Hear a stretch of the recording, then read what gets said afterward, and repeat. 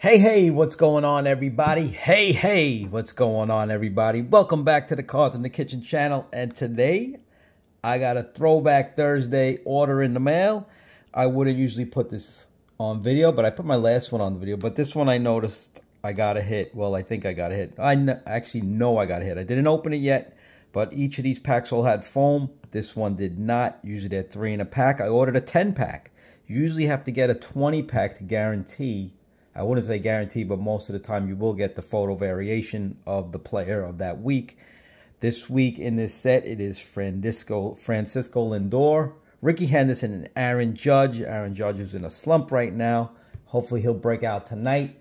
Tonight is game three of the World Series. My Yankees are down two games to none. We got Clarke Schmidt going against Walker Buehler. I'm watching preview now on the MLB network. So let's go Yankees. But anyway, I noticed I turned the thing over and we do have an Aaron Judge on the back. This could be the photo variation or it could be a parallel. I'm thinking the parallels would be a parallel is definitely a better hit than the photo variation. Photo variations are one out of every 20 packs. Parallels are from 10, 5, and 1 of 1. So let's take this out. We'll look at the base set first. And we got Lindor. There's the Mr. Judge, Aaron, home run tonight. And Rickey Henderson. That's a nice, nice card of Rickey in his Oakland A's. All right, let's see what we got, folks. It is cards in the kitchen time. I'm thinking we got the photo variation. And it looks like we did because the border is white. So it looks like we got the photo variation. Let's see what that photo variation looks like.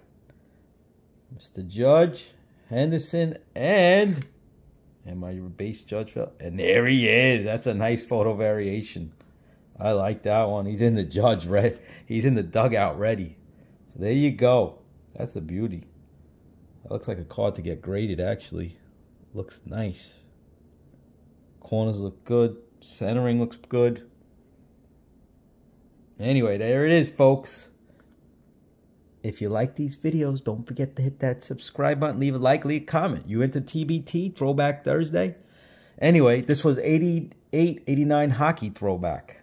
I think that was Brent Hull's rookie year, not 100% sure. But anyway, take it easy, folks. Thanks for stopping by the kitchen. Later.